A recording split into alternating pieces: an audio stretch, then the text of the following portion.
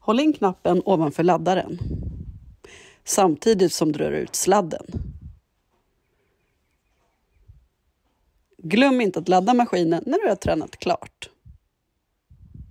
Placera bollmaskinen ovanför baslinjen.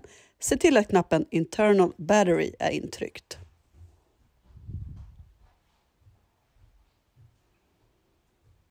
Tryck sedan på powerknappen.